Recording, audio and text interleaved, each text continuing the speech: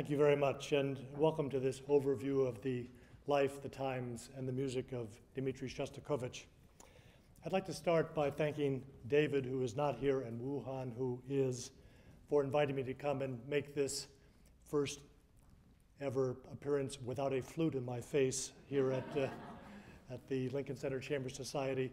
It's a great pleasure to be here, and I'm so delighted to have been invited to be your tour guide for this first ever traversal of the string quartets of Dmitri Shostakovich here at the Lincoln Center Chamber Society.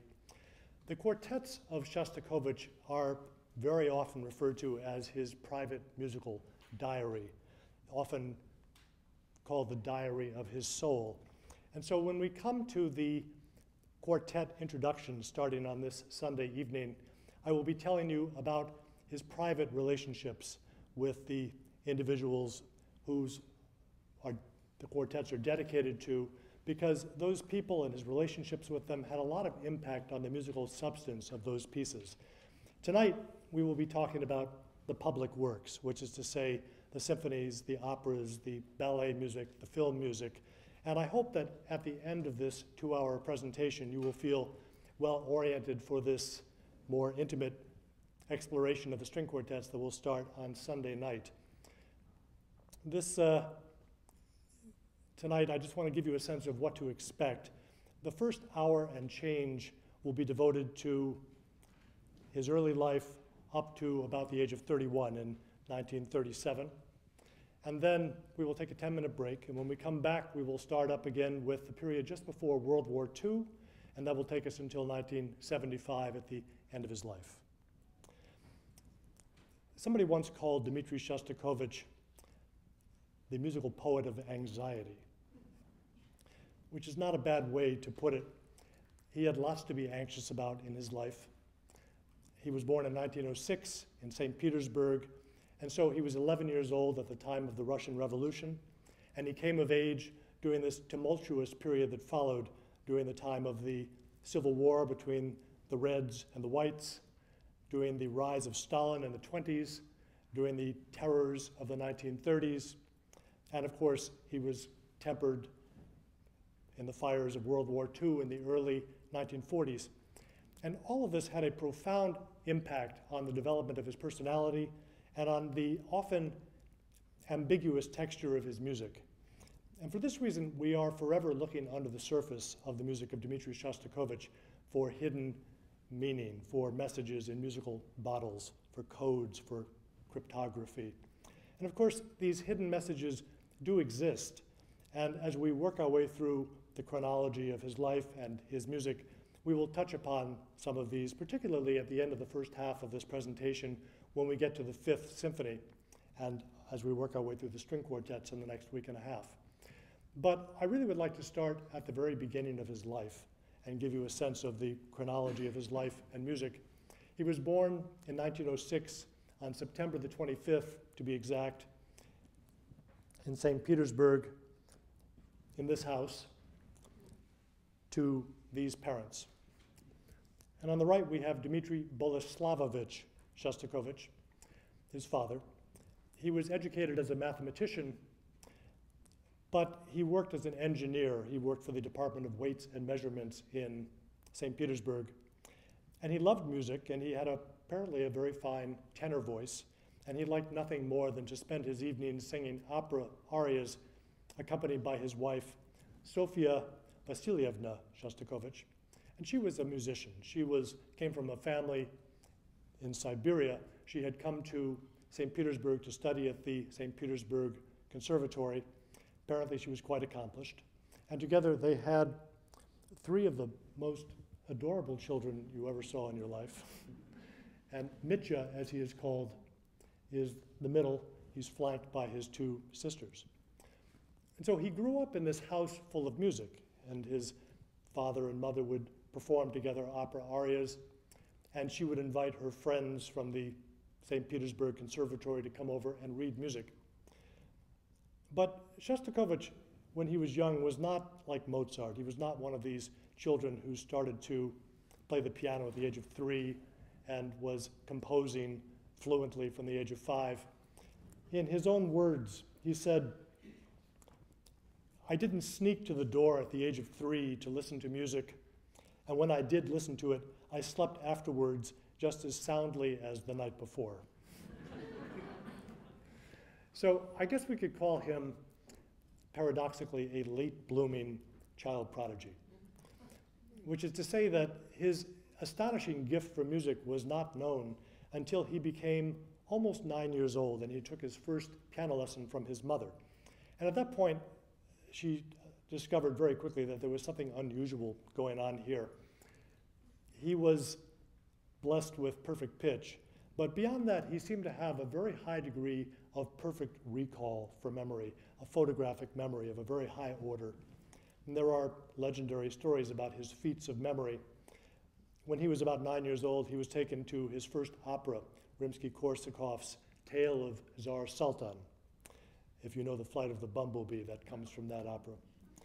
And he was so charmed by it that the next day he called his parents into the room and he sang them back the opera. Pretty much from beginning to end. And this was a clue.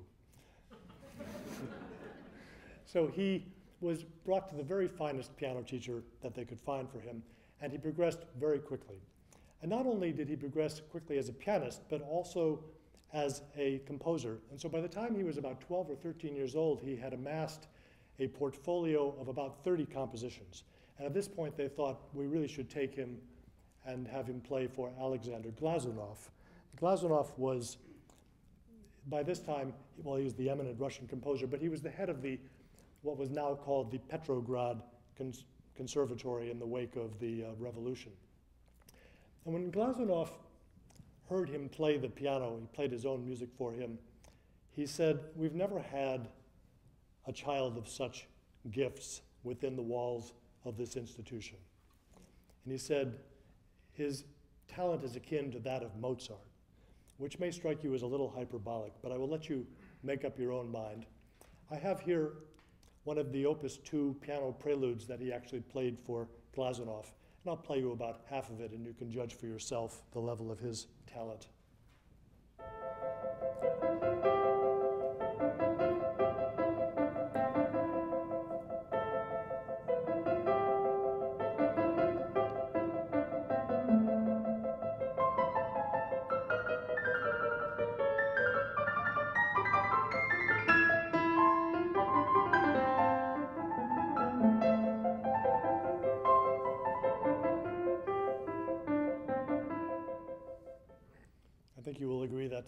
Rather good for a 12 or 13 year old boy.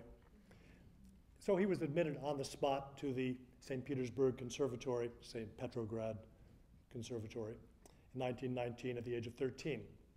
And of course, he progressed very quickly, both as a pianist and as a composer. And I wanted to give you a brief sample of his piano playing because it was an integral part of his musical personality, and he played chamber music throughout his life and concertos.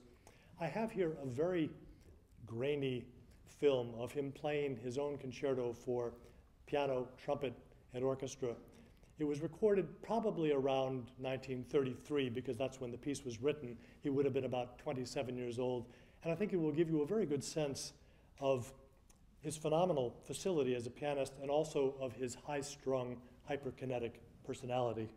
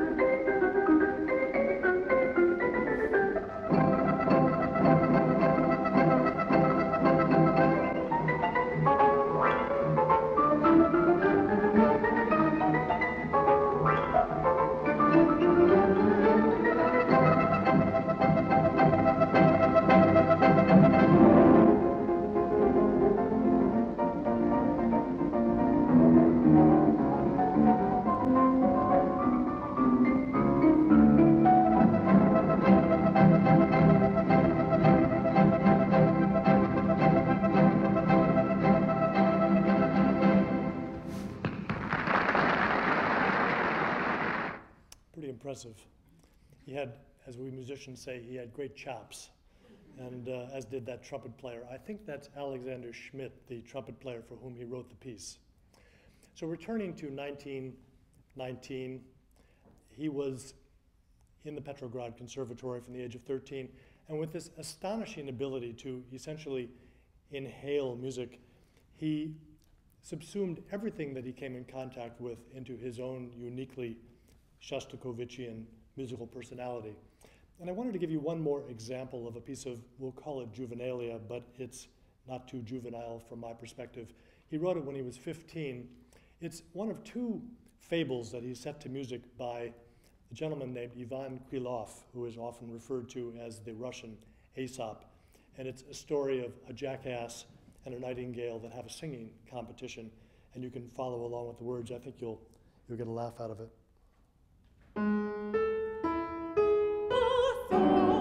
Увидел соловья и говорит ему,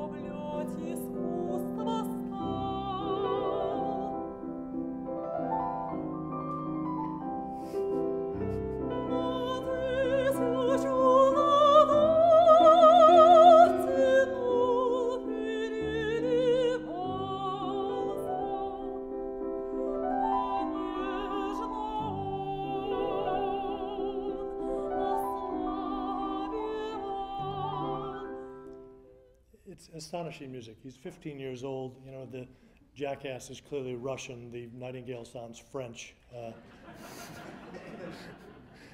and there is all of this Shostakovich humor already there, this irony. At the end of this song, the jackass admits that the nightingale sings pretty well, but suggests that she would do well to take a few lessons from his friend the rooster.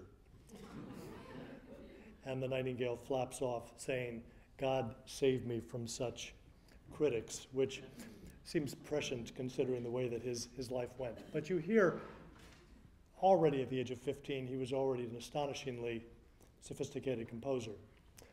Not long after he wrote this piece, the family suffered a bit of a crisis.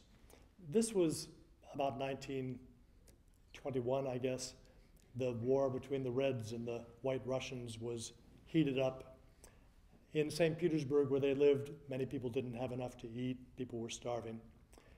And his father, Dmitry Boleslavovich, contracted pneumonia, and sadly, he died. And this left the family in a crisis, both for the loss of the father of the family, but also for the loss of the income. And so his mother felt that it was very important that young Dmitry stay in the Petrograd Conservatory where his genius could be nurtured. And she went to work at menial jobs. She worked as a cashier, she worked for a while as a typist. And this went on for a couple of years. His older sister took in piano students, and it really wasn't enough. And so when he got to be about 18 years old, he felt that he had to go to work as well. And he was still at the conservatory working on his first symphony. But during the evenings, he started working as a silent film pianist. This was the early years of silent films. There were no soundtracks, so pianists or organists would accompany. And he was well suited to do that because he had all of the technique you could use and he had this ability to improvise.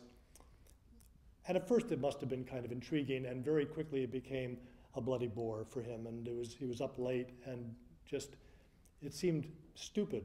And to give you an idea of what I mean by stupid, uh, I have here a clip of an old Russian silent film from that era, the kind of thing he would have been accompanying.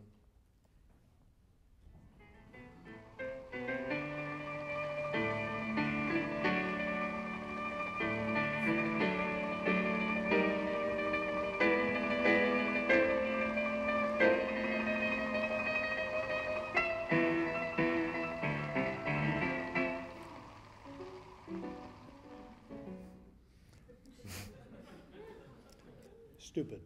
So, as he was spending his nights doing this, he was spending his days writing his first symphony. And this became enormously important to him because he felt that it was going to save him from a life of being a hack musician. And of course, it was also going to be his ticket to the broader musical world. And he expressed his concern that if his first symphony didn't succeed as he hoped it would, that it might be the end of his career. And he said, I fear my symphony will be my swan song as a composer. After that, I'll turn into a music machine capable of imitating the joy of loving hearts, the grief of loss, and other crap. he needn't have worried. The first symphony turned out rather well, as we will hear in just a few minutes. But before I play you a few samples of the first symphony, I want to give you a sense of the artistic world in which he was swimming in the early years of the 1920s. When Lenin took over in 1917, he appointed as his so called uh, Commissar of Enlightenment a gentleman named Anatoly Lunacharsky. And he was a Marxist philosopher. He had spent a lot of time in the West. He had lived in Paris for a while. He had very adventurous tastes, musically speaking. And under his aegis, he encouraged such avant garde artists of the time as the futurists and the suprematists and the constructivists and avant garde theater directors like Meyerhold and avant garde uh, poets and writers such as Mayakovsky.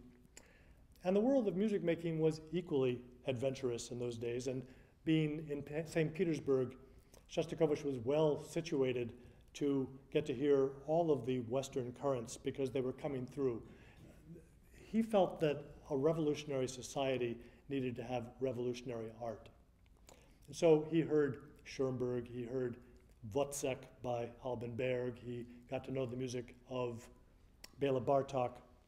And as time went on, he developed a particular leaning toward the music of Paul Hindemith. This was the Weimar Republic, the so called new objectivists. And he came to really admire Hindemith's music. And to give you a sense of the kind of music that Hindemith was writing in the early 1920s, here is a little clip from a ballet score he wrote in 1922 called The Demons.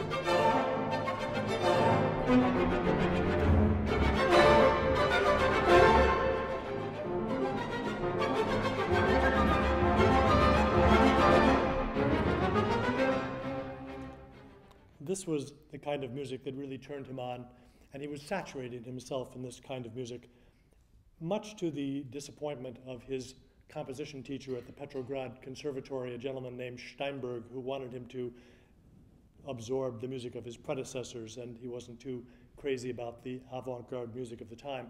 But for Shostakovich, Stravinsky was exciting, uh, Prokofiev was exciting, Hindemith was exciting. And again, all of these influences were subsumed into his first symphony. And I want to play you a few clips from the first symphony, which will give you a sense of how he absorbed all of this and transformed it into his own unique Shostakovichian voice. The piece was performed first by the Leningrad Philharmonic on May the 12th, 1926, when he was 19. He wrote the piece really when he was 18. And it starts almost like chamber music. You have a duet a little fanfare by the trumpet, and then the bassoon. And the whole beginning of it doesn't sound like a symphony at all. It sounds like, like a glorified woodwind quintet or something. This is the acerbic beginning of the first symphony.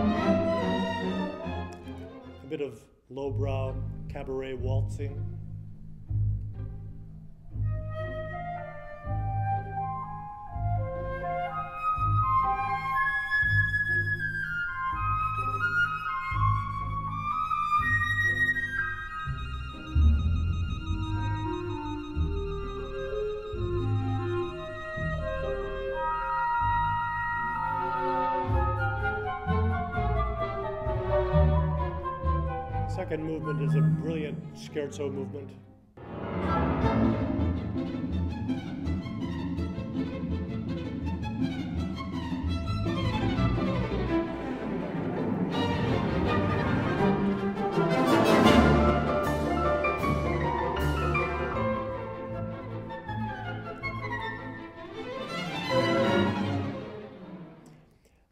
This piece appealed so much to the opening night audience that it had to be encored.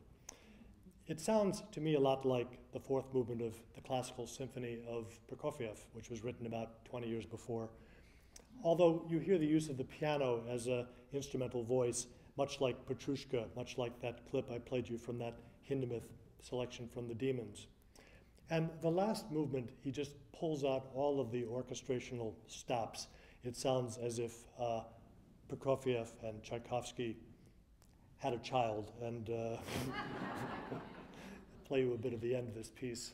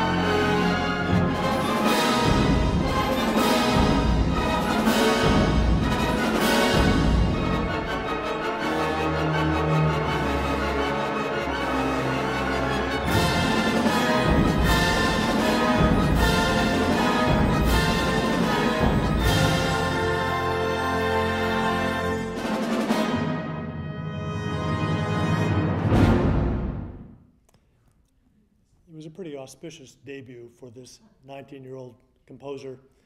The audience went nuts. They applauded well into the night. He and his family and his friends went off and partied till 5 in the morning. And when he woke up the next day, he was famous. This piece really was a catapult that, that thrust him into the limelight, not just in Russia, but internationally. Not long after the premiere of this, Bruno Walter began to perform this piece with the Berlin Philharmonic. It was taken up by Leopold Stokowski with the Philadelphia Orchestra. It was discovered by Arturo Toscanini, who toured with the piece. And he began to get congratulatory telegrams and notes from Darius Milhaud in Paris and Alban Berg in Vienna. It was truly a star is born moment for him. And for the rest of his life, he celebrated May 12, 1926, as his second birth. Not long after he wrote this piece in 1926, he was approached by the propaganda department of the fledgling Soviet Union. And they said, We'd like you to write a second symphony for us since 1927 is coming up. We have the 10th anniversary of the Russian Revolution. And we'd like you to call this piece dedicated to October. And they gave him a poem to set by a fellow named Alexander Bezymensky, which he thought was awful. It's, uh, it's boilerplate uh, communist propaganda. Of course, this is 10 years into the revolution, and communism is still a hope for the world. But even so, the poem itself was pretty lame. I'll give you a few lines. Let's all in the struggle be young and bold. The name of victory is October. Labor, joy, and song, happiness in the fields and at the workbenches. This is the slogan, and this is the name of Living Generations, October, the Commune, and Lenin. Now, interestingly, he chose to set this poem in a 20 minute symphony. It comes at the end of the symphony. And rather than writing in this style that we just heard in the first symphony, which began in neoclassic world and sort of morphed into neo-romantic, he writes this in an utterly um, expressionist, uh, forward-looking, avant-garde style. Uh, really, I think, taking his cues from the world of Lunacharsky and all of this avant-garde music. To me, a lot of this music sounds like proto-Ligeti or proto uh, Penderecki. I'll show you what I mean. It is meant to basically trace the progress of the Russian Revolution. Starts in primordial chaos in the late Tsarist era with an evocation of oppressed proletariats massing in the streets. And he gives you this sense by this very primordial oozing kind of a texture. Play it for you.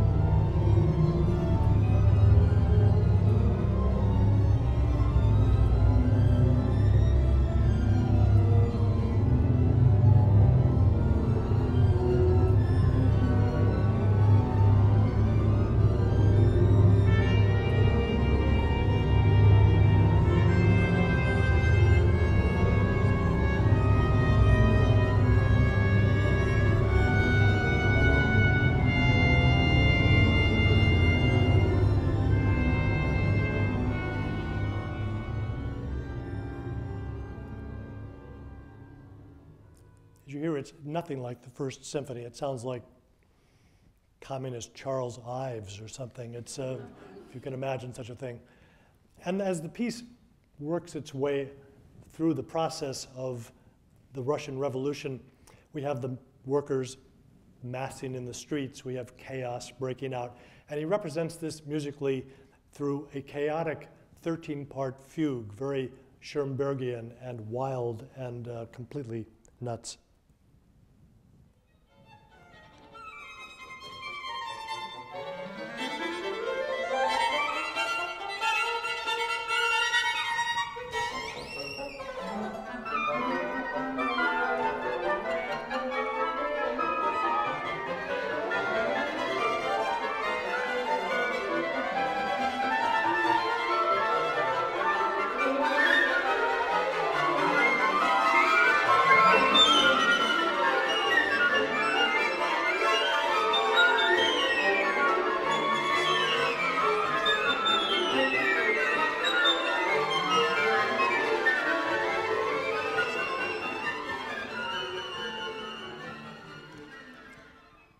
Finally, at the end of the piece, we have that poem that comes in, and he sets it. This is the arrival of Lenin. He's going to sort out all of this chaos. He arrives in this sunburst of C major socialist enlightenment.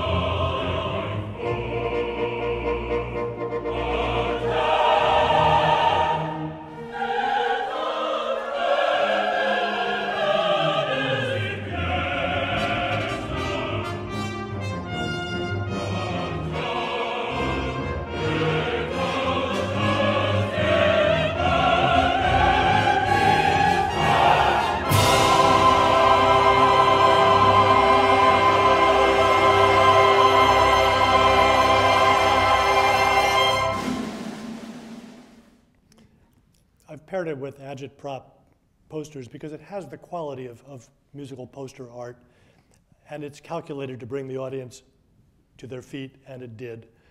And this second great success in a row brought many offers to him. And in 1929, a couple of years later, he was approached for the first time by a filmmaker named Grigory Kozintsev, who had made a silent film called The New Babylon, set in 1870s uh, Paris Commune. And he invited him to write the music for it, and he did.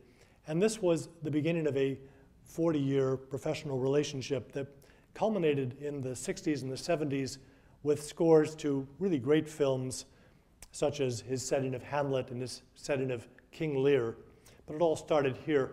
And he wrote 34 film scores over the course of his life. Some of them are not as good as the scores he wrote for Hamlet and King Lear and The New Babylon, because there are, as you will see, points in his life where he was castigated. He became an enemy of the people. And he had to work his way back into the good graces of the Soviet authorities, and he did so by writing film music, some of which was not so good. But this early film music was a lot of fun, and it was a chance for him to explore his modernist sensibilities in a more populist vein. And he was fascinated by the possibilities of finding analogs for film making in his music. For instance, there's a lot of flashback techniques and dissolve and layering, and particularly this element of uh, pastiche, where he will take quotations from other people's music and interpolate it into the course of his own music. And this becomes almost a reflex over the course of his life. And eventually, he's quoting from himself as well. When we get to the eighth quartet, you'll see it's just a huge melange of quotes from mostly from his own works. When we get to the 15th symphony at the end of this, you will see he's still doing this. And all of this comes from early on in film scores like the one that he wrote for the new Babylon. I'm going to play you a little bit of this. This is a comic scene. You have a nightclub entertainer flirting outrageously with a top hatted plutocrat here.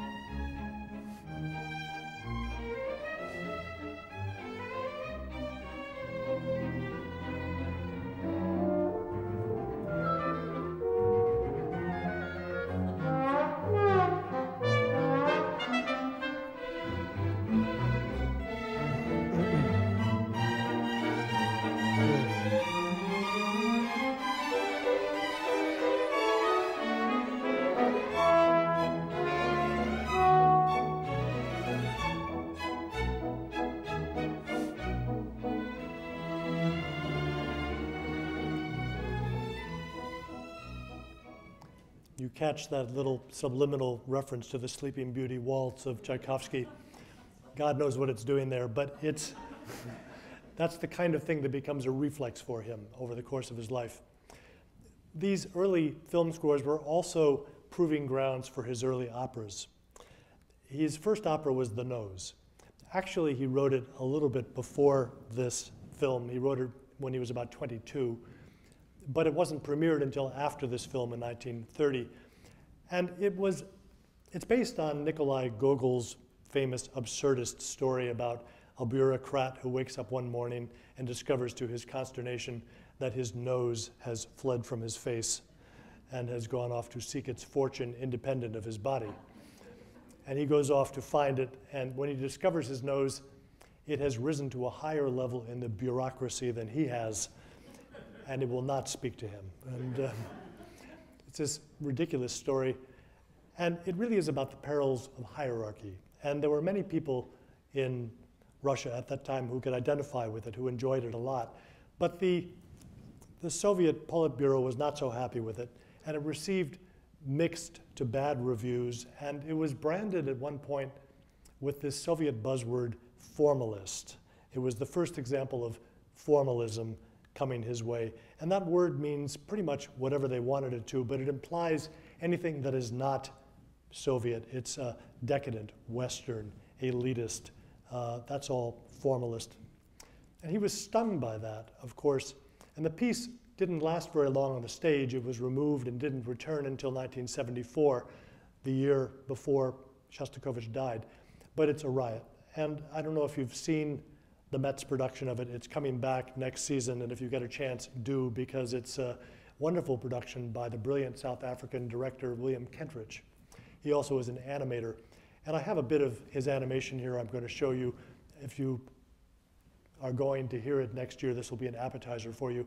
And I've paired it with uh, some pretty wild music because this is the culmination of his, call it, uh, bad boy period, his uh, l'enfant terrible period.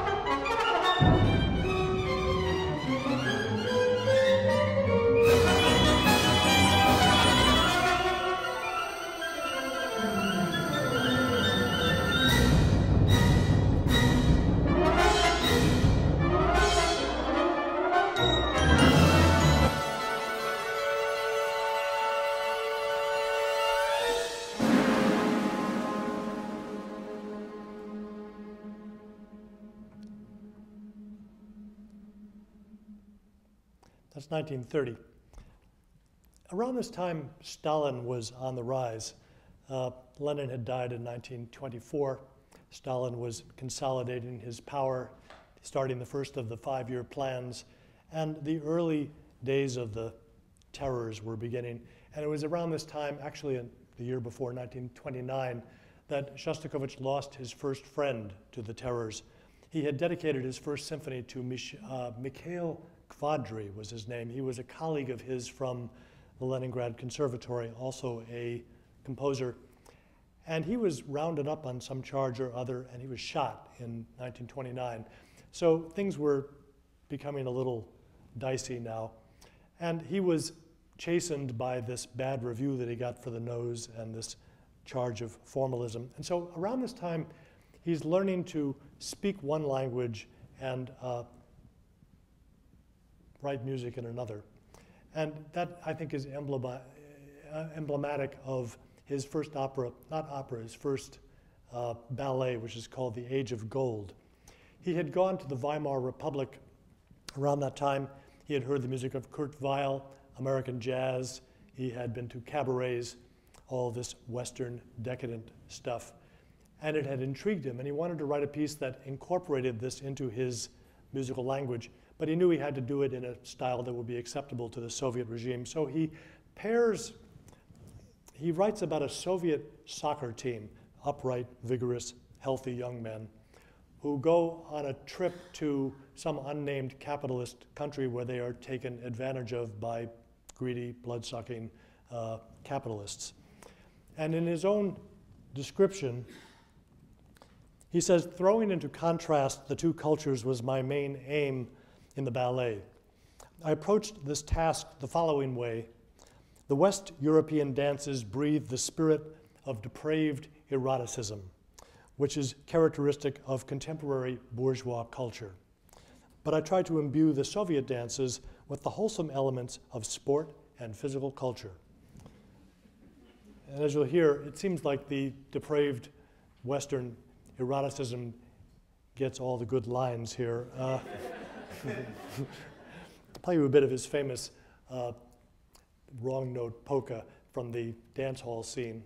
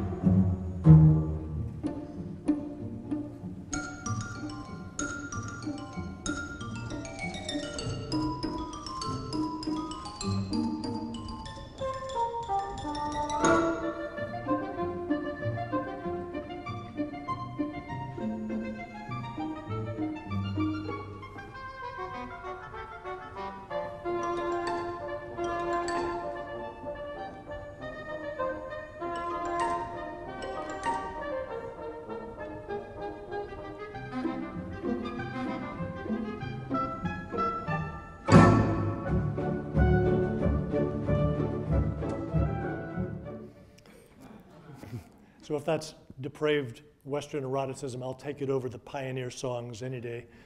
Um, around that time, again, Stalin was consolidating power. We get into the 1930s. In 1932, Stalin put together a meeting at the home of Maxim Gorky, the writer, in Moscow. And the purpose of the meeting was to hammer out the meaning of art in this fledgling Soviet Union. And at the end of the meeting, he said this If the artist is going to depict our life correctly, he cannot fail to observe and point out what is leading it toward socialism. So this will be socialist art, it will be socialist realism. And so, paradoxically, we come out of this period where Lunacharsky has been asking for the most revolutionary art, and now the art of the revolution is going to be conservative. It's going to be accessible. It has to reflect the life of the proletariat. Everything has to be tilted towards communist ideology in one way or another. It has to trace an arc from Soviet hero being self absorbed through adversity and finally emerging in a state of enlightened social consciousness. And how to reflect that in abstract music is a question that had to be answered. And so it was encouraged to write nationalist music, music employing Russian elements, folk music. And in one way or another, it had to trace this arc of optimism. So music was supposed to be relatively simple, wasn't supposed to have a lot of ambiguity, supposed to end in a happy, enlightened state of triumph that would lead everybody to believe that things were getting better, which was the operative fantasy. In 1934, socialist realism was rubber stamped by the, the Soviet parliament. That same year, his second opera came out, Lady Macbeth of the Mtsensk district. It's based on a very lurid story by Nikolai Leskov. It's about a young woman named Katerina, who is a bored, sexually frustrated housewife. She's married to a provincial merchant in the out of the way town of province of Mtsensk. And one day her husband goes off on a business trip and she becomes involved with a worker there on the farm whose name is Sergei. And her villainous, lecherous father in law sees what's going on. He sends somebody off to fetch his son. And then he has his goons there uh, beat up Sergei, throws him into the storage room. And then he approaches Katerina and he says, Make me dinner. And so she cooks him a plate of mushrooms, which she seasons with rat poisoning. And she serves it to him. And as he dines on this, uh, she torments him with her own sexuality and his own thinly veiled uh, lust for her. Here's that scene.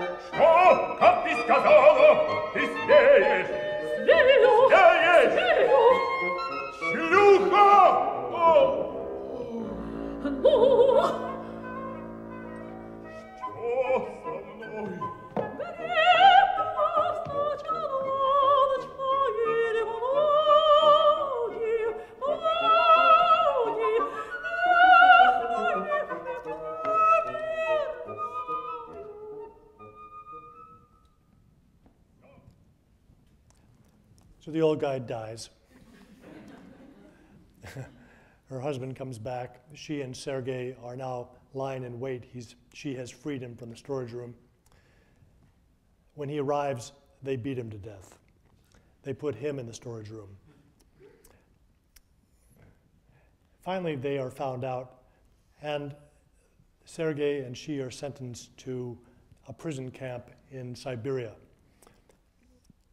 And this music, in a way, it redeems her because Shostakovich has this notion of her as an oppressed victim of class warfare, and she is redeemed by her pure love for Sergei, this lout. Everybody else in the opera is a cartoon, and the music is uh, outrageous and, and, and sort of it, it buffoonish. But the music he writes for her is extremely beautiful, and I will give you a, a sample of that. This is from this scene in the Siberian labor camp. And she is approaching Sergei and she's saying, Oh, Seryozha, Karoshimoy, my, uh, uh, my darling.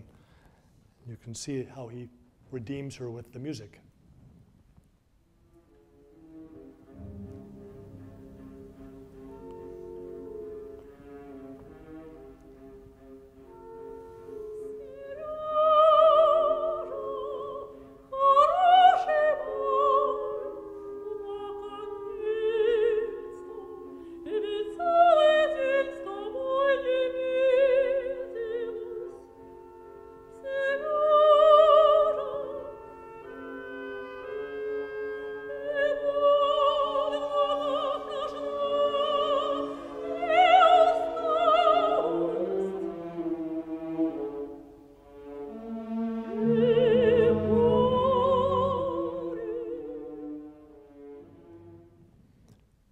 Ser- Seryozha, Sergei, is not buying this.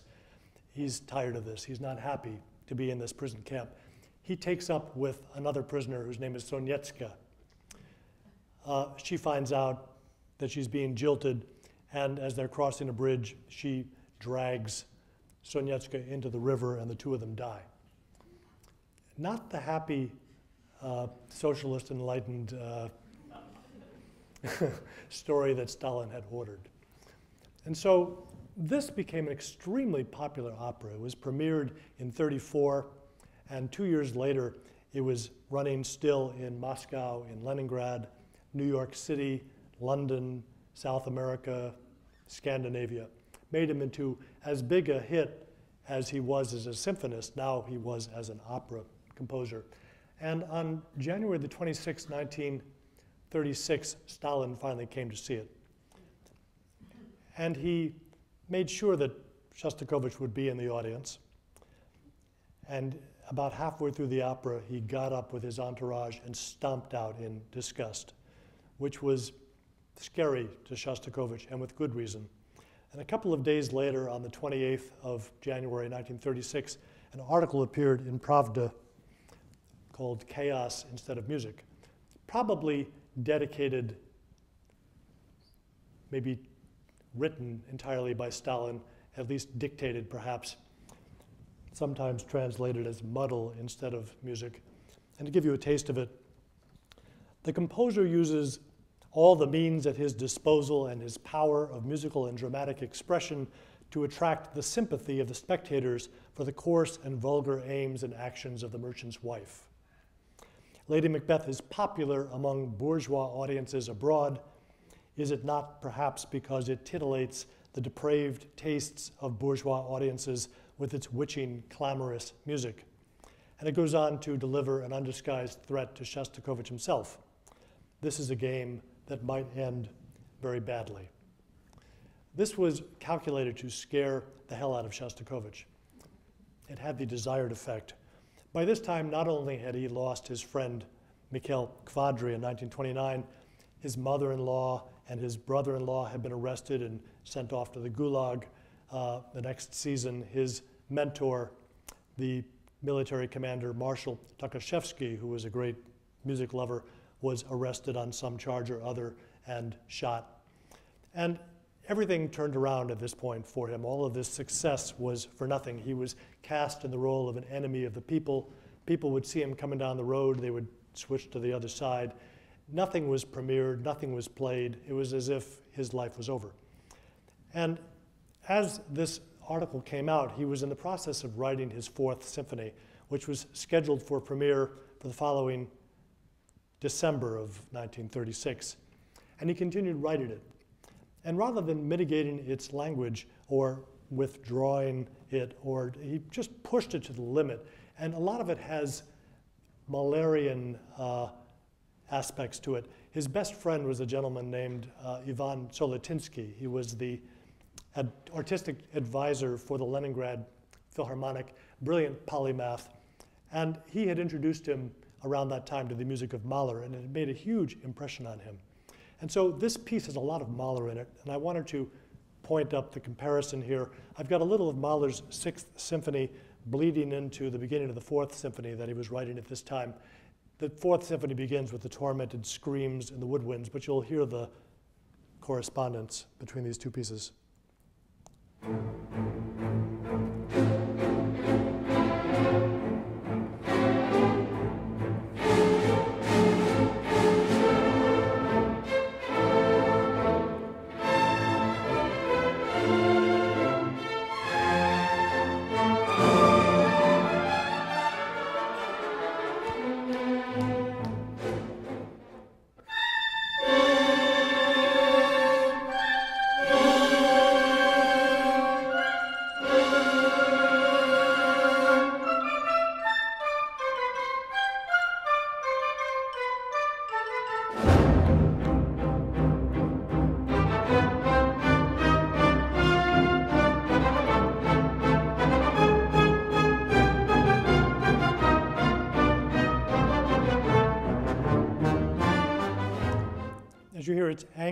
Defiant, unrepentant music. And at the end, rather than ending in a great burst of triumph and, and socialist uh, realism triumph, it ends in a mood of abject, ashen despair.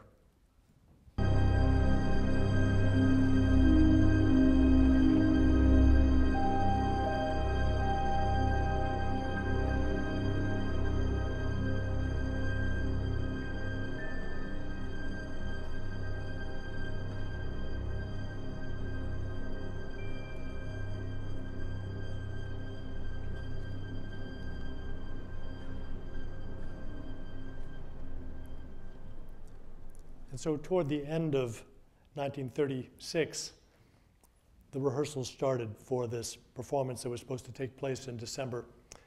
And the conductor was petrified by this piece. He said, It's going to get me in trouble. It's going to get the musicians in trouble. It's going to get Shostakovich arrested. It might get him shot.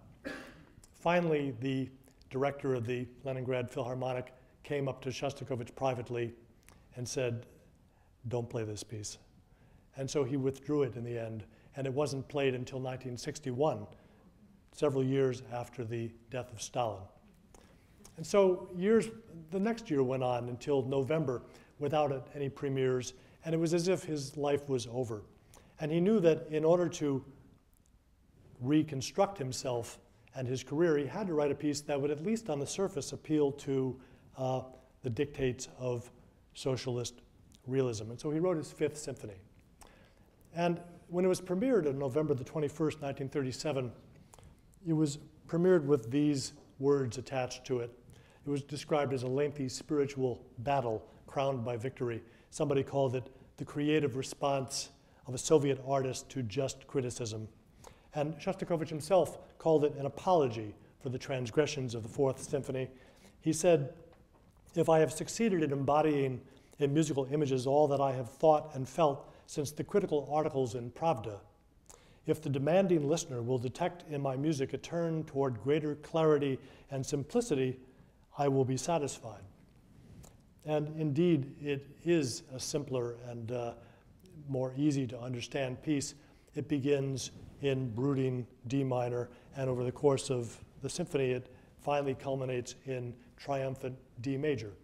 And yet, the question that dogs this piece and all of his music from this point on is what does it really mean? Is it, is it compliance? Is it sarcasm? Is it irony? How to interpret it? The third movement of this piece is really the heart of the piece. It's a lamenting requiem. Many people heard it as a requiem for those who had been dying in the terrors of the 1930s. And when the audience listened to it, they understood it on some level that was very visceral and close to their hearts. And people wept openly and cathartically during this third movement. Here's a bit of it. To me, it reminds me a bit of the texture of Mahler's Fifth Symphony, the Adagietto, with the rich string texture and the harps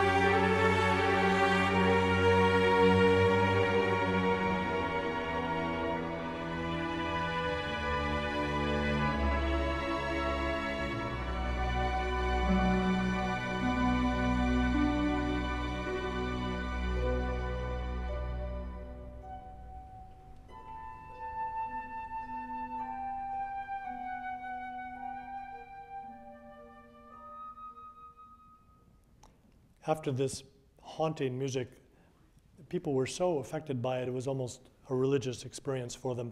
And then the fourth movement starts. Starts in a brutal D minor. We hear a shrieking entrance in the woodwinds and the brass. Then we have this barbaric march that rolls in like a tank, crushing everything in its sight. In the middle section of the piece is introspective, contemplative, and then that march comes back in D minor. And finally, at the end, we have this culmination in D major, like the end of Mahler's first symphony. And again, the question is, what's that all about? To get a bit of perspective on it, I'm going to divert for a second and play you a song he wrote at exactly the same time called Rebirth. He set four poems of Pushkin to music at this time, this piece is Opus 47. The Pushkin songs are Opus 46. He didn't publish or release for performance the Opus 46 songs because you'll see why. Uh, this song is called Rebirth, and it, it's about a barbarian artist, you can read Stalin into that, who tramples on, who defiles the work of a genius. You can read Shostakovich into that. And over the course of time, this defilement, this scribbling, flakes off and reveals the unsullied work of the genius beneath. It's a beautiful song. It takes two minutes, and I will play it for you, and you can follow along, and then I will describe why I'm playing it for you.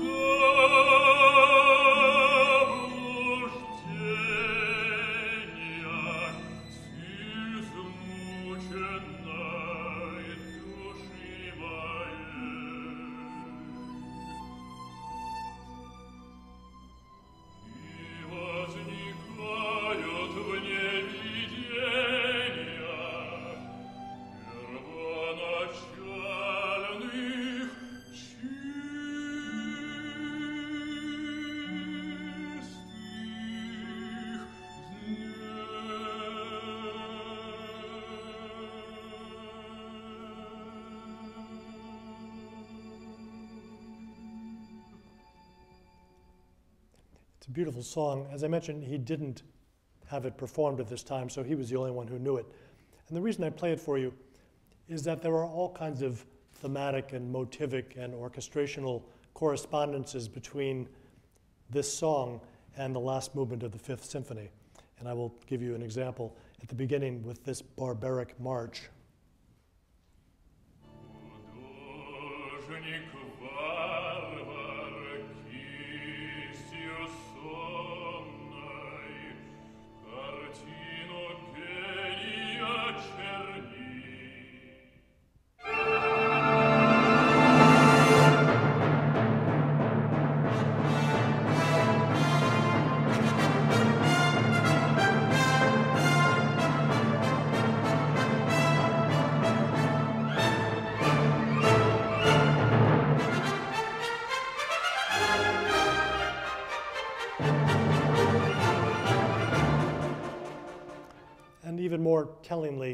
During that contemplative, introspective middle section, it's based almost entirely on the music and the orchestration from the third stanza of that song about rebirth, about the unsullied genius's work coming back.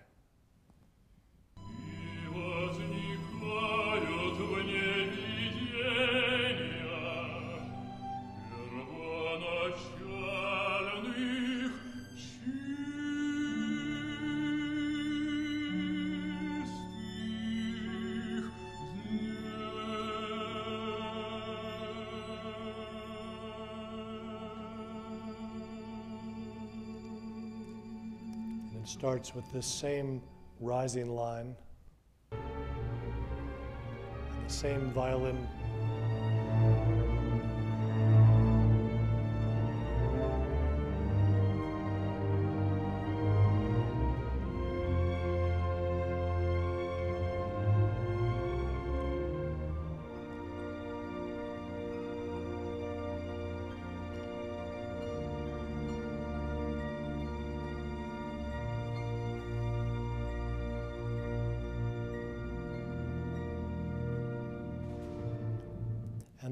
Barbaric march comes back in.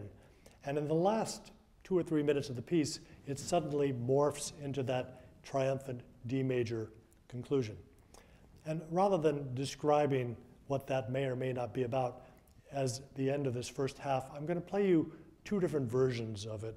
The first is performed by Yevgeny Mravinsky, who is the conductor who actually conducted the first performance of this piece on November 21st, 1937. And the other one is by Leonard Bernstein, and it is a performance that he gave at the height of the Cold War, 1959, in Moscow itself. And I think you'll hear two very different approaches to what this piece means.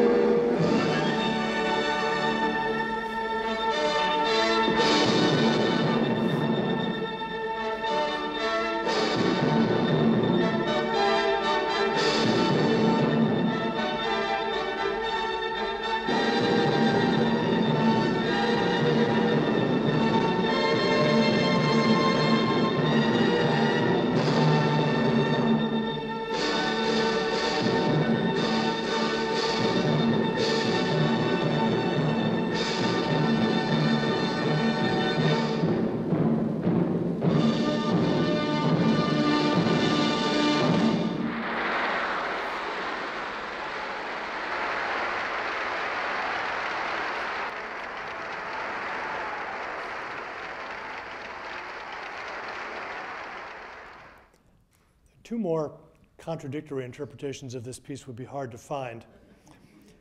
And the question, of course, is which is right? You know, which is the one that Shostakovich truly would have declared was his vision of the piece? And I think it's, it's a silly question because, as you hear, by this time, this dualism, this ambiguity that I spoke about early on, is woven so deeply into the texture of the music that it accommodates with equal validity such diametrically opposed interpretations. This ambiguity, this language that he spoke in 1937, that's the language that people spoke in St. Petersburg in, or in Moscow in 1937. You had to speak that language if you expected to survive, and he was a survivor. And so from this point on, I think what you find in his music is this Shakespearean breadth of meaning. There is tragedy, there is comedy, there is every shade in between irony and sarcasm. It's all embedded in there. And as with any Shakespeare play, there isn't only one way to do it because you can't bring out all that's there in the texture of the, of the, of the play. The same with his music. So I think the more interesting question is this what was the range of response among the people who heard it on November the 21st, 1937? There were members of the Politburo who were there, and as I read, they generally thought of it as uh, sarcasm, as an ironic rebuke to the wise counsel of Pravda. There were Western critics who heard this performance, and they were dis disappointed for the opposite reason. They heard it as uh, compliance with the doctrines of socialist realism, as enforced rejoicing. Our business is rejoicing. And of course, there were the people from the public at large, those people who had wept cathartically during the third movement. And for them, it was so moving that many of them stood up during this D major section as the piece roared to, toward completion. And they remained standing for almost an hour after the piece was over, clapping, bringing Mravinsky back and forth as he held the score aloft over his head. And as people were heard to say, that was Shostakovich's response to the article in Pravda, and it was a good one. And so, whatever the Politburo members may have thought, it was completely swamped by the response of the public in general. And this piece, more, more than any other piece, it paved the way towards even greater successes in the years to come and his status as a true hero of the Soviet Union during the World War II era. So we will take up around that time when we come back in about 10 minutes. So have a good vacation.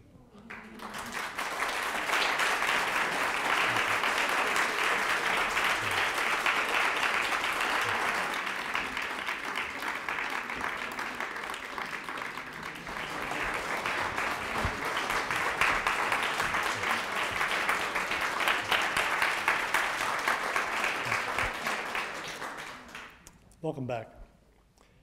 In the wake of this tumultuous period that started in January of 1936 with the denunciation in Pravda and culminated with the triumph of the Fifth Symphony in November of 37, he fell into a fallow period, a period of creative exhaustion. And this lasted until the following May 1938. And he finally came out of it probably inspired by the birth of his second child, Maxim, on May the 10th, 1938. I say that because about two weeks later, he began to write his first string quartet. And it is written in an utterly different language than the language of his Fifth Symphony. That piece, of course, is brutal and, and brooding and uh, ambiguous. This piece is simple. It's in C major, it's neoclassical, it's uh, lighthearted, I think genuinely so. And that's about all I'll tell you about it because uh, it will be the first piece on the quartet program, and I will talk about it as with the other quartets in more detail starting on this coming Sunday evening. But this was a pretty good time for him. The pressure was off uh, from the political forces, and he was having a good time with his family now. And about a year later, in 1939, probably inspired by the presence of these two adorable children toddling around the house. He wrote a 14 minute chamber opera. It was really a cartoon score called The Silly Little Mouse. Utterly different than anything we've heard so far. And I wanted to play you a little of it because it gives you another side of Shostakovich that we haven't experienced so far. And this is the warm family man and the humor. Uh, it's all in this piece. As I say, it's about 14 minutes long, but I've distilled it down to its one minute essence. and it's about uh, a mouse mother on a barnyard who is trying fruitlessly to rock her child to sleep. The mouse won't go to sleep. And so she calls upon the help of her barnyard companions, and each of them takes a try to rock this, this little child to sleep.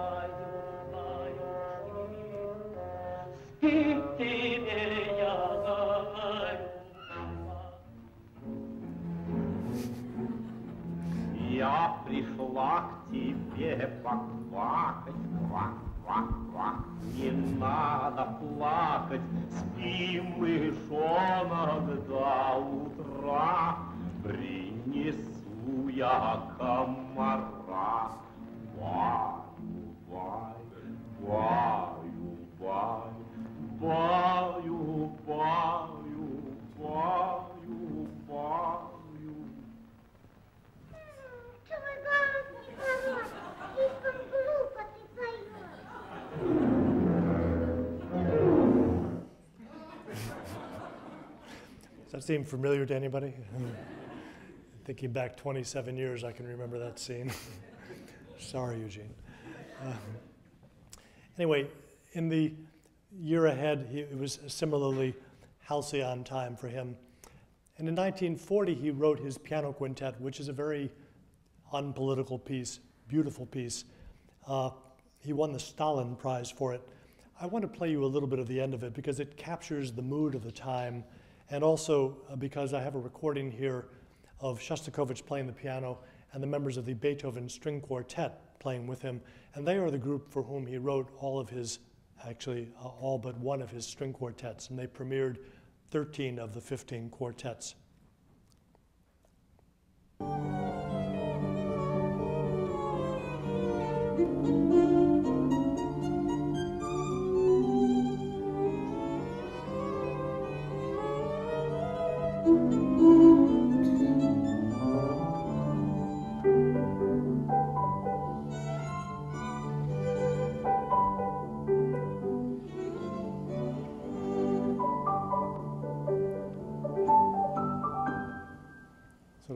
Captures the spirit of the times.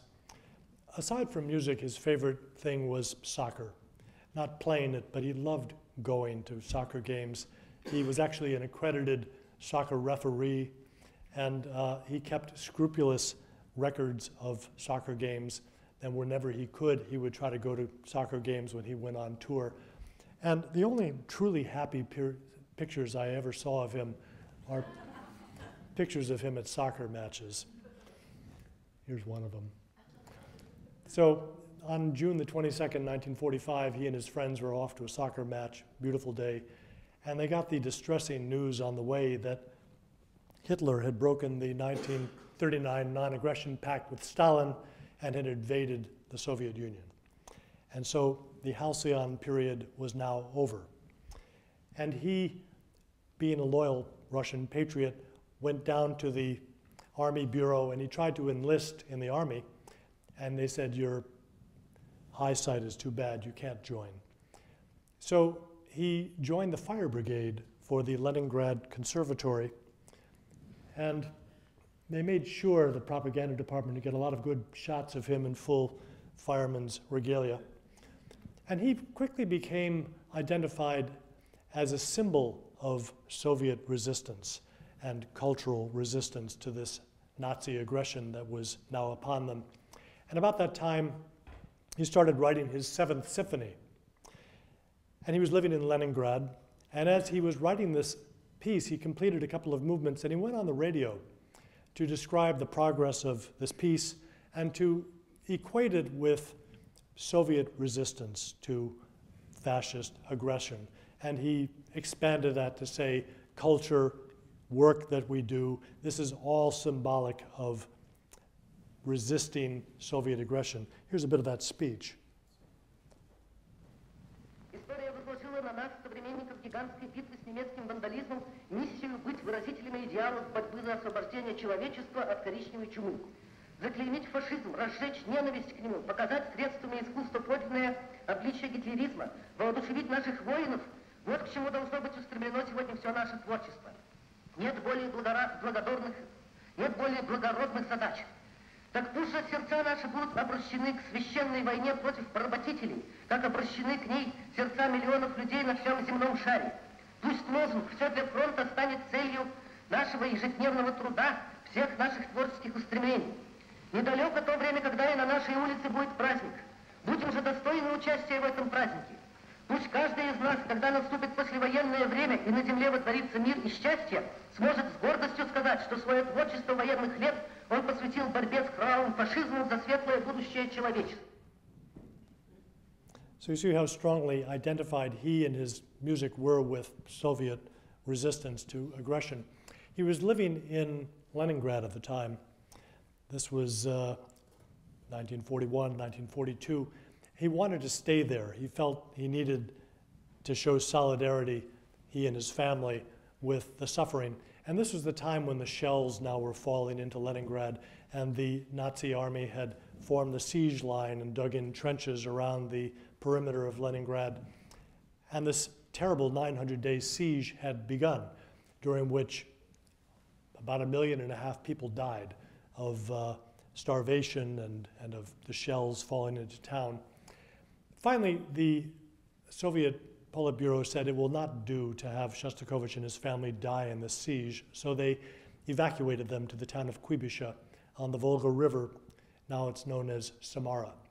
There he completed the Seventh Symphony and he premiered it there. It was broadcast to great effect.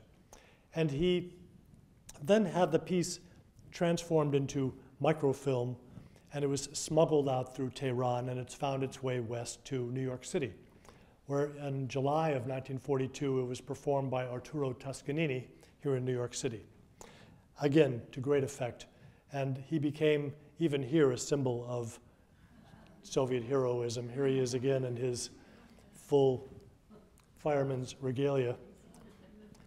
The most dramatic performance of this piece took place in Leningrad itself. After Toscanini's performance here in New York, the score was airlifted into Leningrad. And a call went out to the members of the Leningrad Philharmonic to come rehearse this piece. 15 people showed up. Many of them had died in the, in the siege. Many of them were on the front lines, dug into trenches. So the Soviet commander issued an order for all musicians in the front lines to come back to rehearse this piece this piece became truly a symbol of uh, resistance. And it was scheduled for August the 9th, 1942. That was the date scheduled for the premiere. The Nazi commander got wind of this, and he said, We have to do whatever we can to disrupt this performance because it's got too much propaganda value. The Soviet commander, on the morning of August the 9th, ordered a bombing raid on the German lines, the siege lines, was called Operation Squall, probably the only time that there was a bomb, bombing raid issued to make a musical performance possible. And they subdued them so that they could have this performance, which of course was an enormous cathartic success. They set up speakers out over no man's land so that the Germans in their trenches could hear it and presumably be demoralized by it. So it was uh, rather astonishing. Probably the most instantly recognizable part of this piece is the development section of the first movement, which has become known as the invasion section. He concocts a 22 bar melody of stunning banality. Uh, he makes it partly out of the descending line in Deutschland über alles, which I've put a red box around.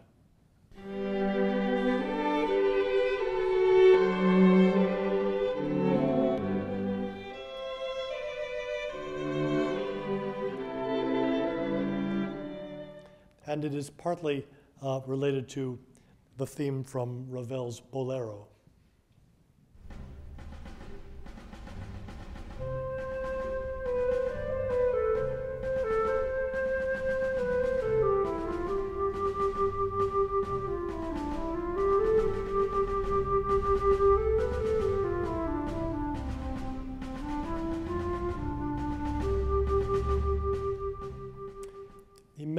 These two things together and he comes up with this invasion theme.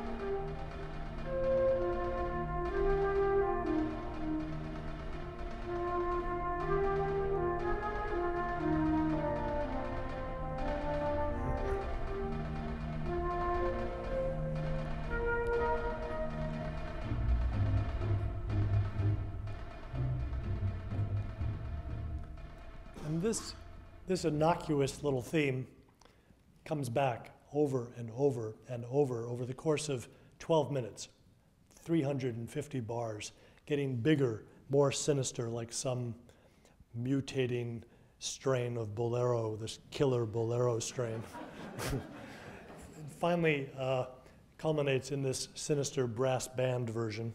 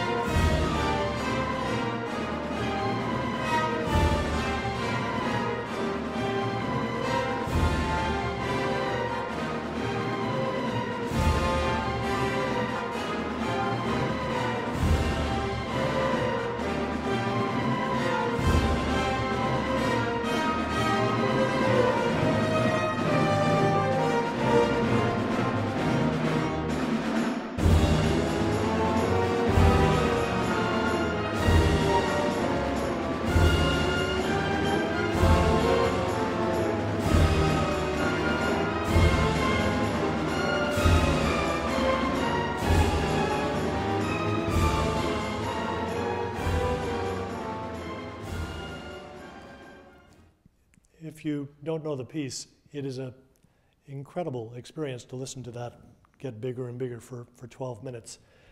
It was supposed to represent invading fascists.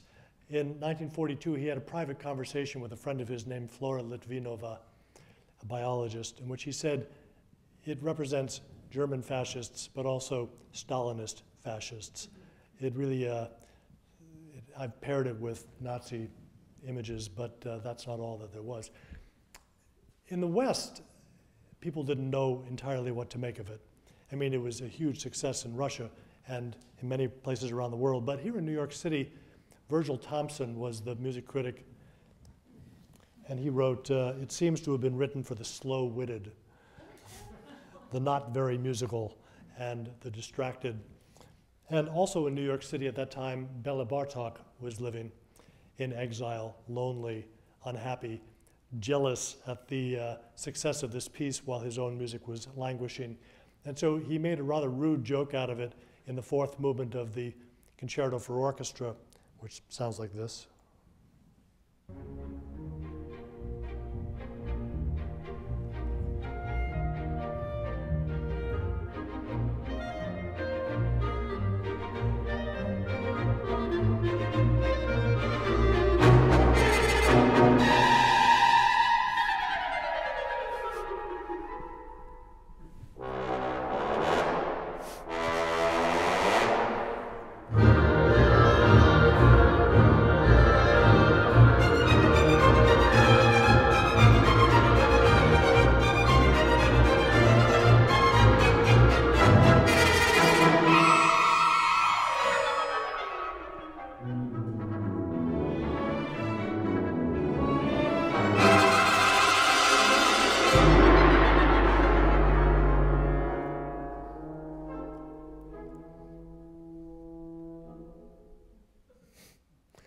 So, with those flatulent trombones and uh, jeering trumpets and laughing woodwinds, it's, he makes a joke. But of course, to the people there in Leningrad, it was not a joke. It was a piece of great importance, and he won the Stalin Prize for that.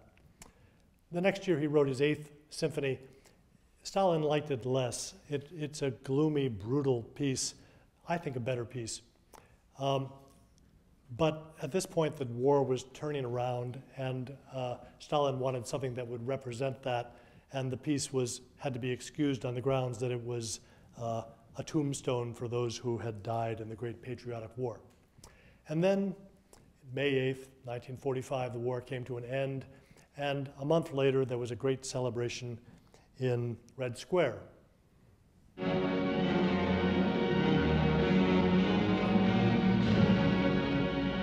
Москва, Красная площадь. 24 июня 1945 года здесь, у стен Святого Кремля, 200 знамен разгромленных гитлеровских армий склонены к ногам победителей. На трибуне мавзолея товарищ Сталин, руководители партии и правительства Советского Союза. So, in the wake of this victory, he started writing his Ninth Symphony, which is known as the third of his war symphonies. Stalin heard about this, and he made it clear that he expected this Ninth Symphony to be triumphant, victorious, and to be a symbol of his, Stalin's, great leadership during this great patriotic war. Shostakovich said, Oh, yeah, don't worry, that's what I'm doing. Uh, I'm going to write a great choral work along the lines of Beethoven's Ninth Symphony. And he couldn't do it. He simply could not bring himself to write a piece that would celebrate Stalin. And so he wrote what I think many people think of as his anti Ninth Symphony. It's, it's a work full of jeering brass and laughing woodwinds, a la the Concerto for Orchestra by Bartok, and piping piccolos. And it's very light and neoclassic and funny.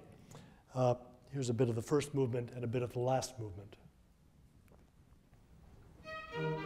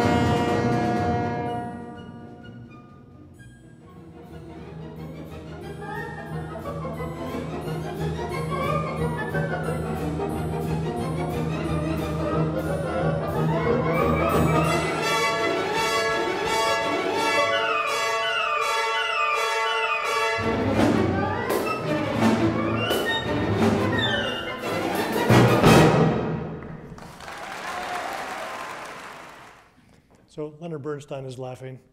Uh, the woodwinds are laughing. Stalin was not laughing. Stalin took it very personally, this piece.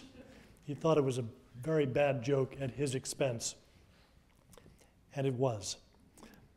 And it greased the skids for Shostakovich's second slide down into ignominy. He became an enemy of the people for the second time in 1948 in the wake of World War II, rather than letting up on the pressure on the people of Russia, Stalin bore down even harder. And he resumed the purges and the terrors of, that he had to leave aside in 1941 to fight the Nazis. There were purges of artists, there were Jews were particularly uh, at risk in the days after uh, the winning of the war. And Shostakovich was the subject of a denunciation that took place at the hands of a gentleman named Andrei Zhdanov. He was Stalin's cultural minister, really his cultural hatchet man. And over the course of 46, 47, 48, he conducted a series of purges of the leading artists of the time, culminating for Shostakovich in 1948 in Moscow at a composers' congress that took place there. And this was, uh, he took Shostakovich and Prokofiev and Khachaturian and Vissarion, Shebalin, all the top composers of the day, and stood them up and knocked them down. It was a way of saying uh, nobody is, is safe anymore. And I'll play you a little bit of a clip of Tikhon Krennikov. He was just about to become the head of the Composers Union. And here he is issuing this harsh denouncement of Shostakovich, as we see Shostakovich himself taking it, even applauding at his own denunciation. Наш долг – мобилизовать все наши творческие силы, чтобы в кратчайший срок достойно ответить на этот призыв нашей партии, на призыв нашего великого вождя, товарища Сталина. It's painful to see Shostakovich applauding his own denunciation, but he had some experience with being an enemy of the people back in 36. He didn't really want this to happen again. And he got up at this party congress and he made a speech in which essentially he, he apologized, he groveled. He said, Some Soviet artists, and among them myself, attempted to give expression to this great spirit of national uplift. But between my subjective and objective results, there was an appalling gap. The absence in my works of the interpretation of folk art, that great spirit by which our people live, has been with utmost clarity pointed out by the Central Committee of the All Union Communist Party. I am deeply grateful for it and for all the criticism contained in the resolution. Didn't help. He was fired from his jobs teaching at the conservatories of Moscow and Leningrad. His music was essentially banned. Uh, he descended once again to this status of being an enemy of the people. And he had to claw his way back. And among the things he did was he wrote pieces that now celebrated Stalin in no uncertain terms. He wrote uh, an oratorio called The Song of the Forests, which celebrated Stalin's big public works progress product. Uh, and he also wrote the score for a film called The uh, Fall of Berlin, which was this uh, amazing piece of propaganda celebrating Stalin for having defeated the Nazis. And I'll play you a little bit of that because it gives you a sense of what he felt he had to do in order to come back to the point where he could be a, a public figure again.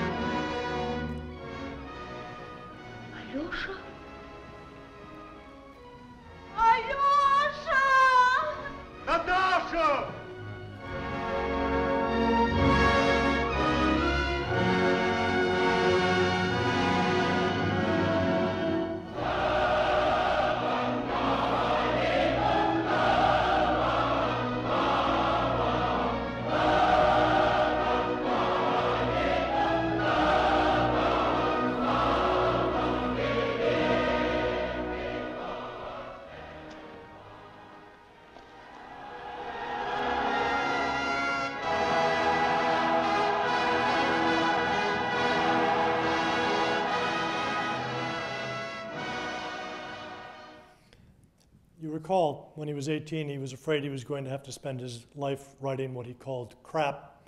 Um, he had no idea what he was in for. But at the same time that he was writing this music, he was writing art music of the highest caliber. He wrote his fourth string quartet, his fifth string quartet at this time. He wrote his violin concerto for David Oistrakh. He wrote uh, his songs on Jewish folk poetry.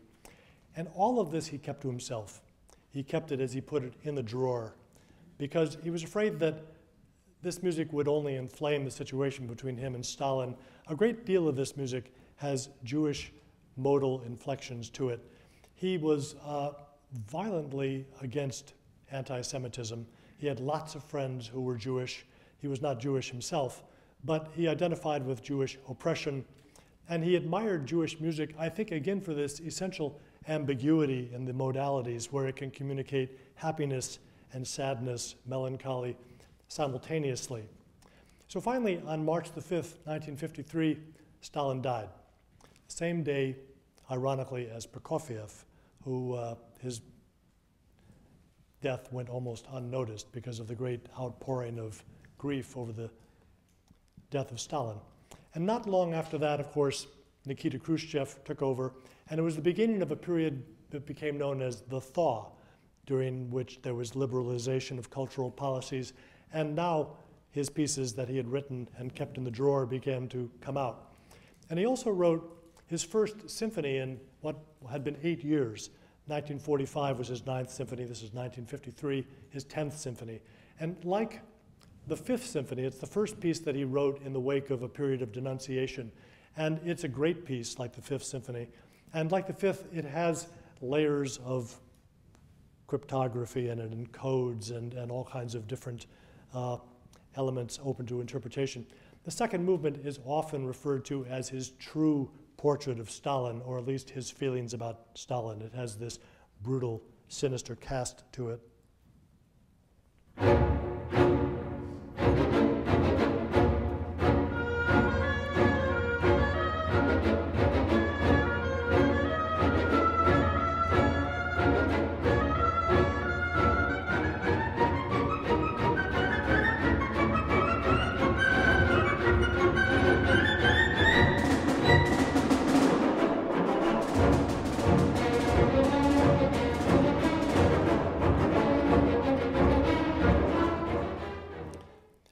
Scary music. Also, this piece is the first time that he really uses in a big way his cryptogram, this musical signature that he divides for himself. Uh, re, mi, do, si. Uh, in German uh, musical nomenclature, E flat is pronounced S, and H represents B natural. And this became his signature. It appears on his grave monument in the Novodevichy Cemetery in, uh, in Moscow.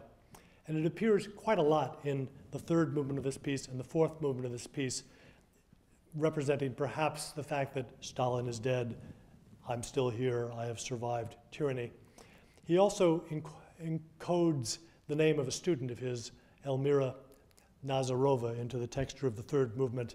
Uh, as you see, he devises a way of doing that. And he had this tendency to fall in love with younger women. A lot of them were his students. We'll see that in the fifth string quartet, where he memorializes Galina Ustvolskaya, who was another student of his. Here, he, his cryptogram and hers sort of get together in the middle of this uh, third movement, and I'll play them for you so you see how he uses them.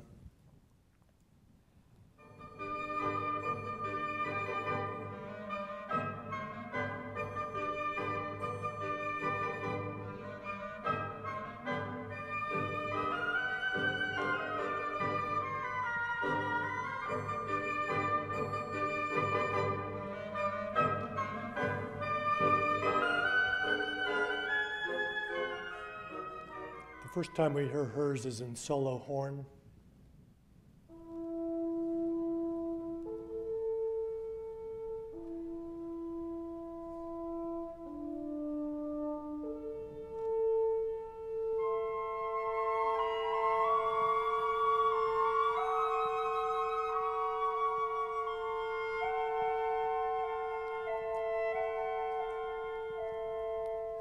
The juxtaposition of these two themes.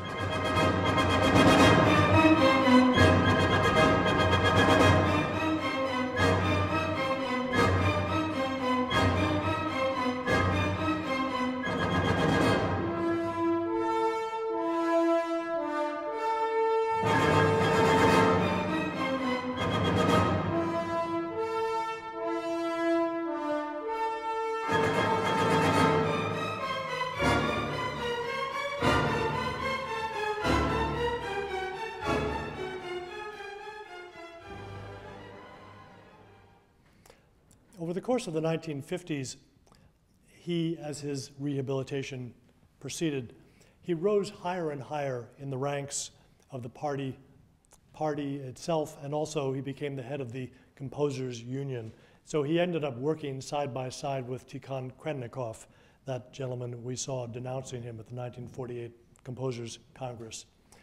And in 1960, it culminated with him joining the Communist Party. He had resisted doing this, uh, but Khrushchev pretty much insisted. He said, if you're going to be the head of the Composers Union, you better join the Communist Party. And he did it. And as you'll see in these images of him as the head of the Composers Union and shaking hands with Khrushchev, uh, he looks pretty damn uncomfortable here. uh, and you'll see as this goes, I mean, as you'll see it, he's in the end of this clip, he's just drumming his fingers and looks awful. And, and you have to wonder why, uh, if he didn't want to do this, did he do this? Well, I think, you know, he'd been denounced twice. He'd gone through this period of descending to the status of an enemy of the people and clawing his way back. And he didn't want that to happen again. This was a way of protecting not only himself, but his children, Maxim and Galina.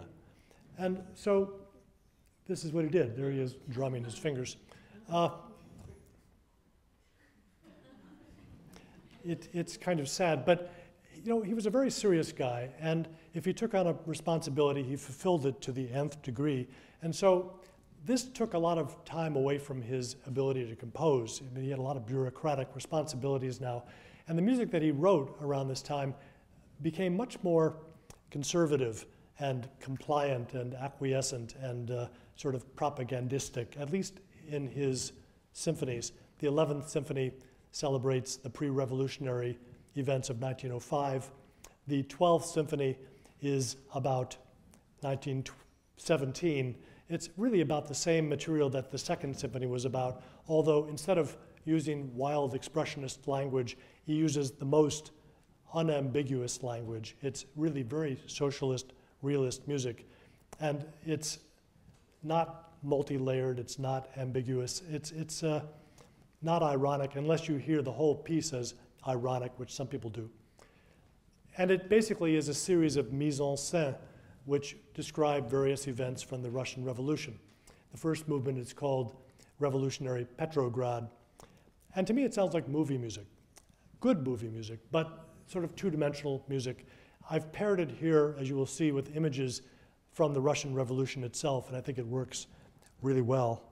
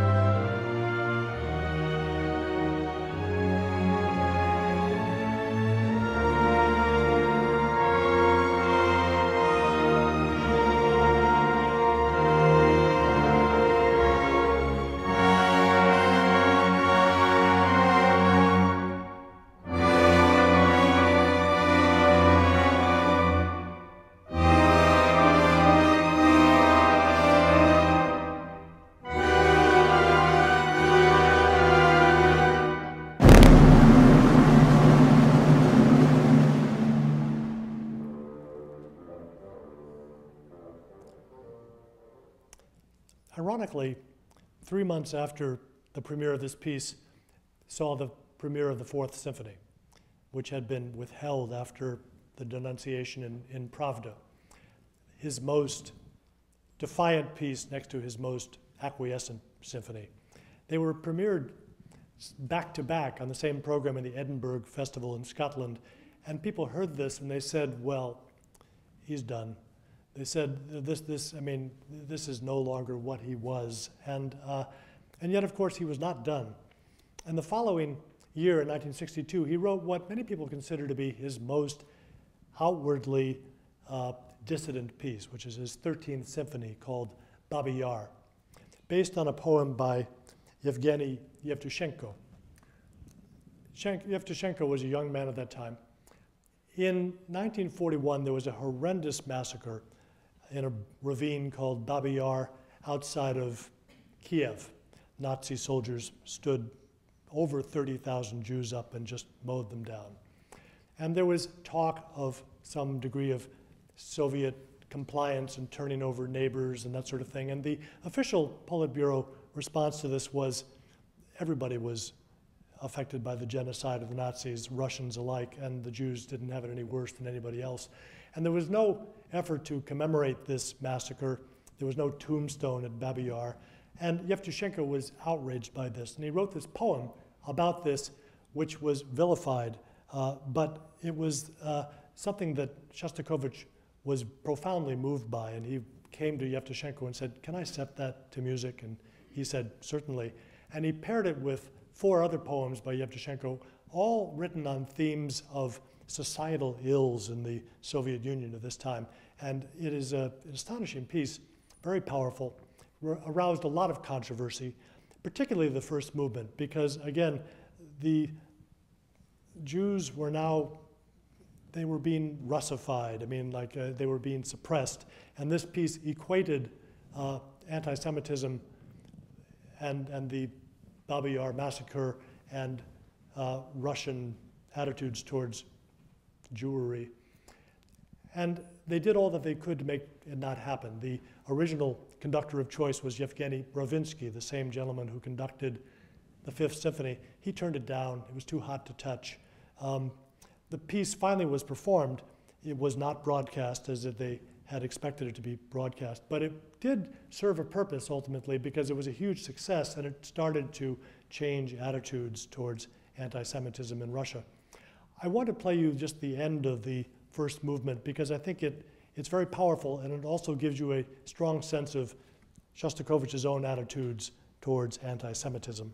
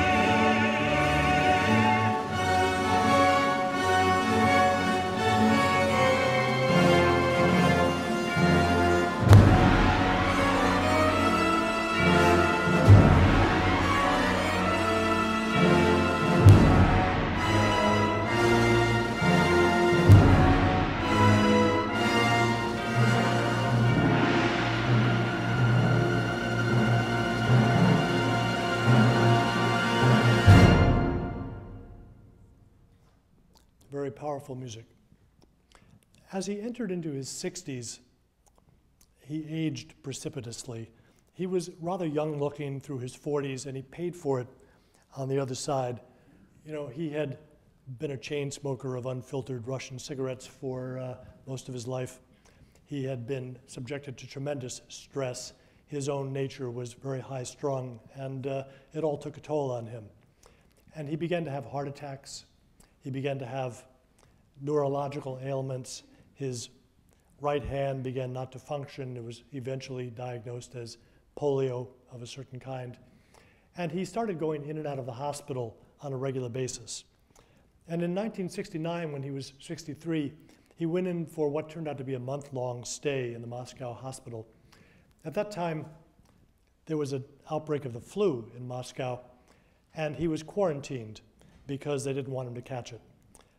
And he was obsessed with mortality by this time, death. And he spent half of that time reading poetry about death by poets like Lorca and Apollinaire and Rilke. And the second part of his stay in the hospital, he wrote his 14th Symphony, which is a setting of 11 of those poems, all concerned with death. It's a piece which is utterly unlike anything he had written before, very, very powerful music, and structurally different uh, 11 poems set for uh, soprano, bass, string orchestra, percussion. There's no winds at all.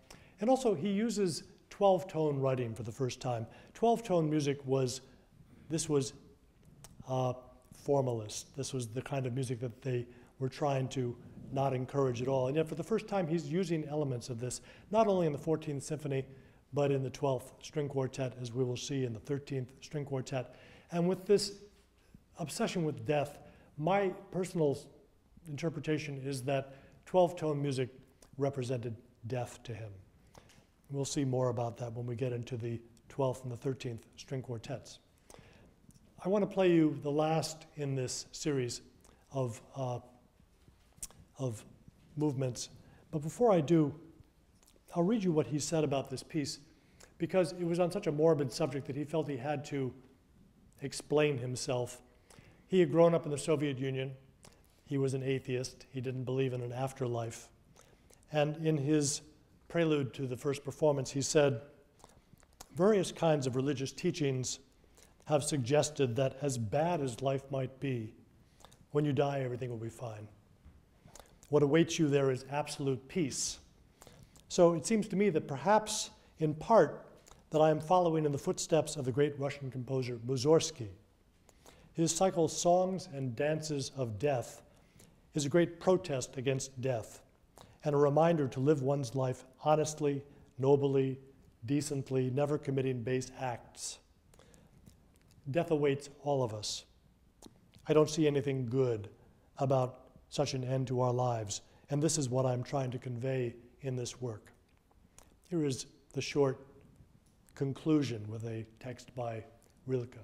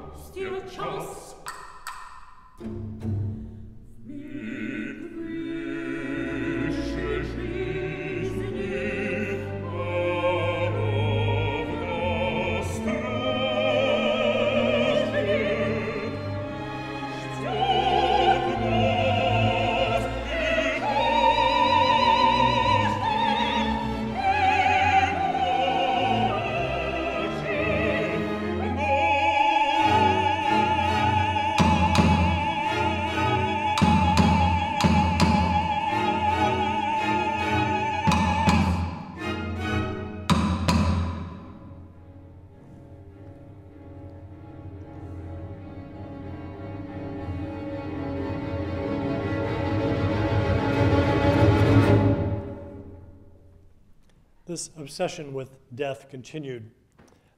And in 1971, a couple of years after this, he had a very candid conversation with Flora Litvinova in which he expressed his feelings about death, but also his regrets about the way his life had turned out.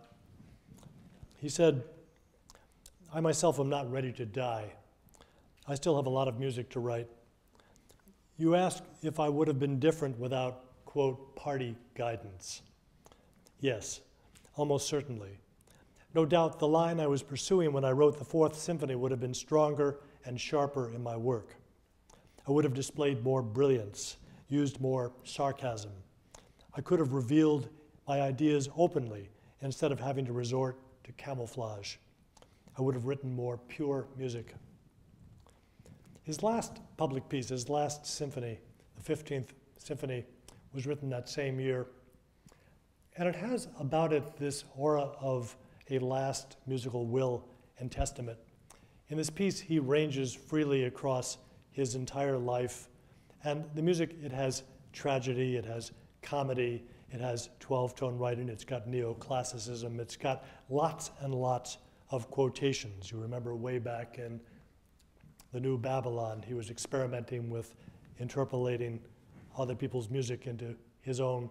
This has so many that his friend Isaac Glikman, who was the theater critic in Leningrad, said, What are all these quotations about? And he responded, he said, I don't myself quite know why the quotations are there, but I could not, could not, not include them. So they were important to him. The first movement is rather light. It's uh, rather neoclassical. He called it the toy box. And you will recognize one of those quotations early on.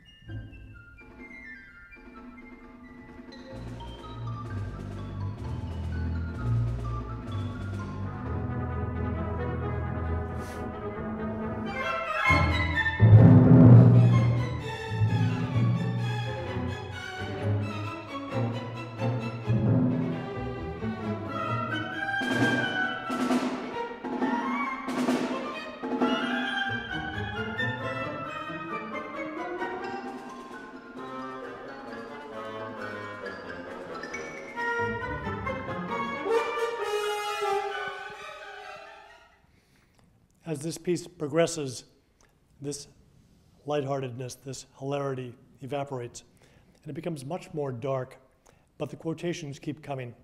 And they culminate at the beginning of the last movement of the piece, where he quotes verbatim the fate theme from Wagner's Die Walküre. Um, this is the moment where, in that opera, Siegfried and Sieglinde are fleeing from Hunding. She collapses in a ravine and he is looking over her as Brunhilde makes her first appearance, and she tells him, You're going to die in the battle between you and Hunding. And he quotes this quite extensively. I've, I've excerpted a bit of it. And then he bleeds it into the beginning of Tristan and Isolde, and from there we go into a more garbled version of an old song by Glinka uh, called Do Not Tempt Me Needlessly. And I will just play this for you.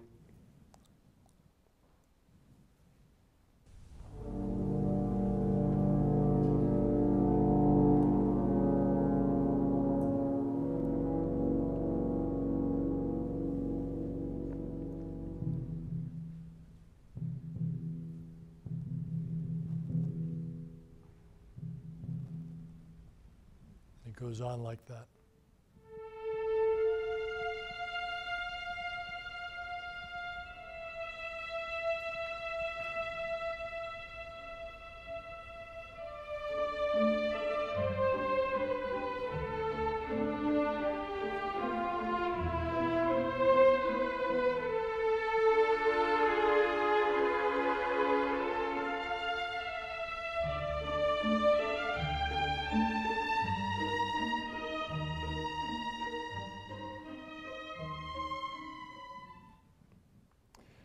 This obsession with the passage of time was nothing new. It had been that way his whole life.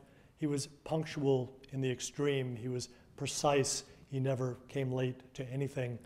And he would range around his apartments synchronizing the clocks. There was an obsession of his. And so it seems significant that the end of the 15th symphony is the sound of a giant clock winding down and stopping.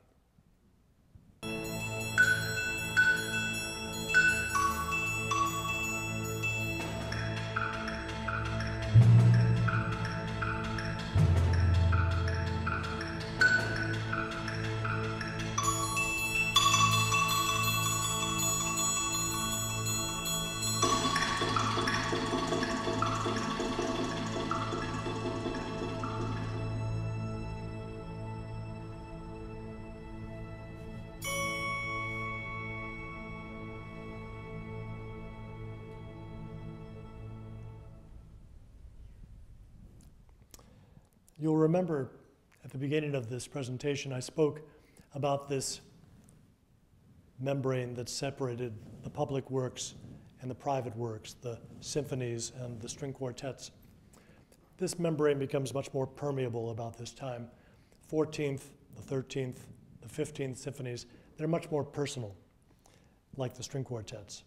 They share a lot of qualities with the string quartets. They use these atonal elements. And about this time, he began to feel that he didn't need to write any more public pieces. So this was his last symphony. For the remaining four years of his life, he wrote only chamber music and songs, string quartets, He wrote uh, pieces for his friends, people that he wanted to spend time with personally.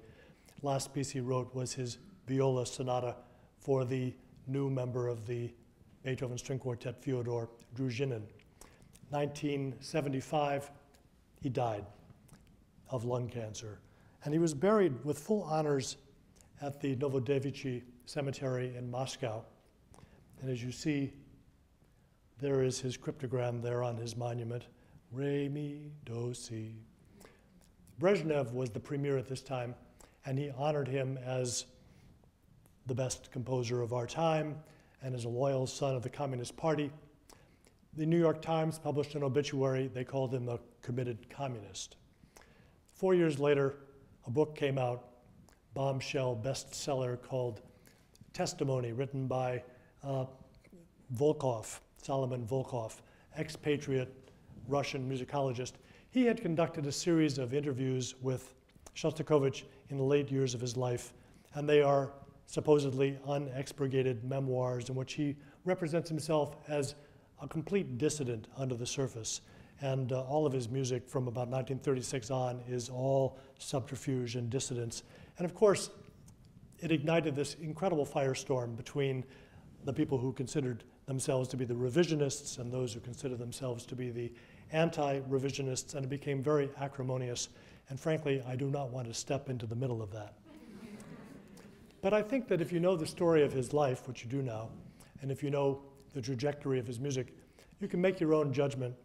And as a final offering here, I have a quotation that I want to read to you, which I think echoes a lot of what I said at the end of the first half about the ambiguity and the contradictions and the necessity of embracing all of that in the case of Shostakovich. This is by Richard Taruskin, who was a brilliant American musicologist and one of the leading Russian music specialists in the world today. And he writes this quote, which I think really sums it up in a very even handed way. He says, By turning Shostakovich into a saint, a hero, or a martyr to gratify our hatred of the evil that surrounded him, we grant him no posthumous victory. All we do is reduce him to the level of our imperfect comprehension and our biases.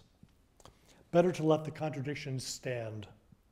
They are what have made Shostakovich so consequential. So I want to say thank you all for coming. I look forward to seeing you again on Sunday night, and I hope you will enjoy this voyage through the string quartets of Shostakovich.